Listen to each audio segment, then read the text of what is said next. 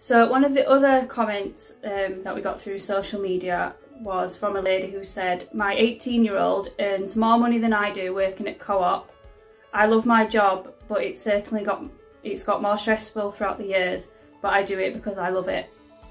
That's like a really nice one to hear Yeah. as well, actually.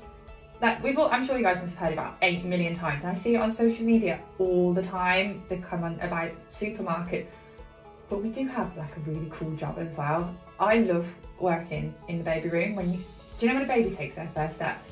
My heart fills up as if they're my kid. They're not. but when they say their first words, I'm still just as excited as their parents are. So I do think we're in a really fortunate situation that we do have such a great job in that respect. Definitely, I think you always ask the question like, why do you work in early years? And it always comes back like seeing them grow, their personalities develop, all the learning and stuff. And so it is the rewarding, most rewarding job, but there is the other side to it. So it's nice to know that people are staying in the job for the right reasons Yeah. as well.